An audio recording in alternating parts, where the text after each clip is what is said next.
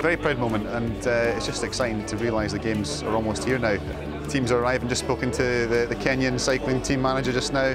It's, there's such a buzz in Glasgow, and uh, I think everyone's just ready for the games to begin. Well, this is the first impression, um, and in some cases, the last uh, the last impression uh, that people will have of Glasgow and Scotland. So it's absolutely important that it's in keeping uh, with that warm welcome we're trying to create. And I really think that Glasgow Airport has done an outstanding job. We want people to feel at when they arrive here in Glasgow that they have arrived um, at the city that is hosting the 20th Commonwealth Games, and that's so so important because we want it to be, you know, festive in terms of a sporting feel, but also a, a cultural feel.